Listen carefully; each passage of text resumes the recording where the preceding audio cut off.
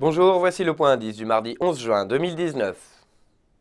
Malgré les tensions commerciales et la possible mise en place de droits de douane à l'encontre de la Chine après le G20, le cours de l'indice français devrait ouvrir sur un rebond dans l'attente des statistiques du jour.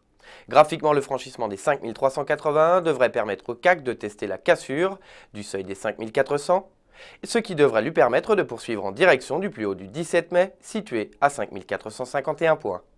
Retrouvez-nous dès 11h pour le Market Live et dès demain pour d'autres analyses.